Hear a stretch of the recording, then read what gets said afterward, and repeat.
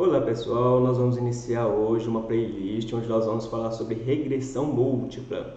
Regressão múltipla é uma metodologia estatística muito interessante para nós utilizarmos em situações onde nós estamos trabalhando com dois ou mais fatores quantitativos. E quando eu digo fatores quantitativos, eu quero dizer variáveis explicativas quantitativas e a nossa variável resposta, que é aquela variável que a gente vai medir nos nossos indivíduos, como produtividade, ganho de peso, altura, por exemplo, também é quantitativa. Né? Então, sempre quando a gente está trabalhando nessas situações, né, com duas ou mais variáveis explicativas quantitativas e uma variável resposta também quantitativa, regressão múltipla é uma das melhores soluções aí para a gente conseguir trabalhar.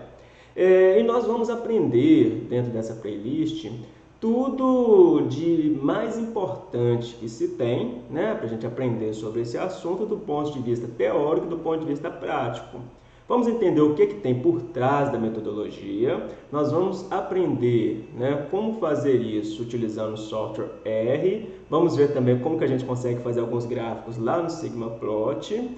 É, e como que fica essa questão de delineamento estatístico, ou melhor, essa questão né, de regressão múltipla numa situação onde nós temos delineamento estatístico. Então vai ser uma playlist bem interessante, convido vocês a se inscrever no canal e acompanhando aí essas videoaulas que com certeza nós vamos aprender muito juntos, ok? Então é isso pessoal, até a próxima aula.